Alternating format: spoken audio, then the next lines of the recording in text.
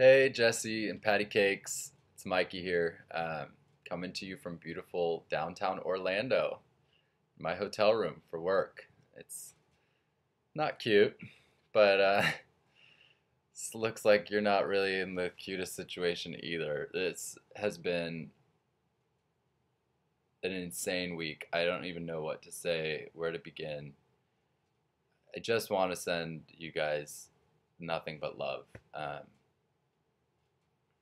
we care about you guys so much, and I know it probably seems like you have this crazy, insurmountable mountain ahead of you, but know that I and all of your friends and your family, it's been so inspiring to watch everybody gather and join in support of you, and we are not going anywhere. We will be behind you, pushing the wind to your back so that you can get right back to that dance circle with us to Gloria Estefan or whatever the music of the moment is.